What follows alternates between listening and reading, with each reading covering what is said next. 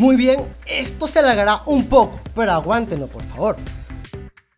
Lo siguiente que diré es mi opinión y mi percepción de las cosas. Si estoy equivocado o no es algo que desconozco y que tampoco me gustaría averiguar. Para mí, el cómic seguirá siendo cómic independientemente del país de donde venga. Eso incluye Japón. El manga, para mí, es solo un estilo de cómic con una manera diferente de representar personajes. Algo que va más allá de cómo un artista tiene una percepción de las cosas o del propio estilo. Por igual, Marvel y DC tienen un estilo característico de hacer cómics. Son muy diferentes entre sí, pero es cómic. Por independientemente de dónde venga, para mí el manga siempre será un estilo de hacer cómics. Obviamente es el que más me gusta, considerando que los demás también son increíblemente buenos. Sin embargo, como dije, esta es mi manera de ver este maravilloso arte. Hay que admitirlo, no todas las obras son realmente buenas. Algunas no llegan a gustar, incluso podríamos decir que son basura. Tal vez por su historia por los personajes o tal vez por un motivo más técnico como el mal empleo de tramas o viñetas. Tenemos que admitir que no todo lo que venga de Japón es bueno. No todos los mangas que producen en Japón son buenos, o graciosos, o entretenidos, o sencillamente no producen ninguna sensación al lector, cosa que va mal siendo manga o cómic. Por decirlo de una manera, no hay que besarle los pies a Japón.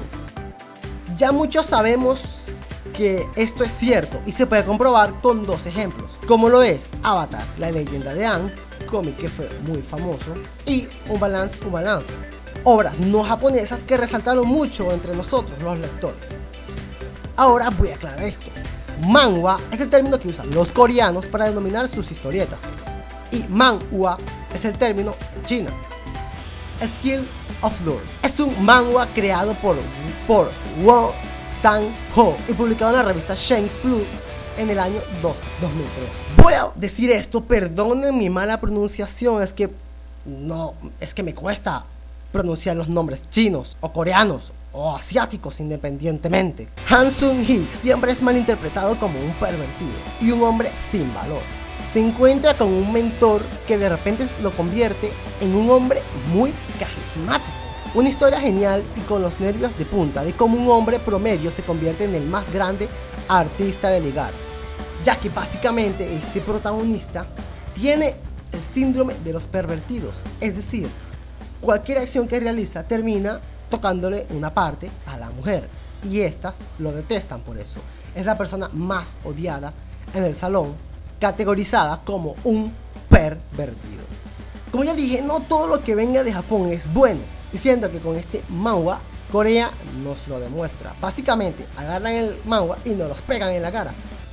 Vamos a ignorar el hecho de que es a color. No voy a colocar eso como un motivo para colocarlo en lo alto. Sencillamente me gusta la cantidad de comedia que tiene esta obra. Puedo decir que no es tan, digamos, típica como lo es en el manga. Es decir, no es sencillamente el chico camina, se tropieza, le toca el pecho a la chica y esta le da una cachetada. Y todos nos reímos como, como si jamás hubiéramos visto esa escena en toda nuestra vida. Obviamente nos vamos a encontrar con escenas que son muy rebuscadas, pero que de alguna forma seguirán sacándonos una risa argajada o sencillamente una mueca. A pesar de cómo se ve el manga, no es tan simple como se muestra. Y me gusta cómo convierte el síndrome del pervertido me gusta que convierta eso en parte de la trama, es decir, no lo coloque como sencillo fanservice para el lector, como lo vemos en muchos mangas. Es esto que le ocurre al protagonista, es lo que va a ir desarrollando durante toda la historia para, como dije en la sinopsis, convertirlo en un artista de la seducción. A pesar de que, como se escucha, no va a ser un mujeriego o un cualquiera, el, el protagonista no va a ir atacando a chica en chica, probando su Mejor, mejor, mejor me callo.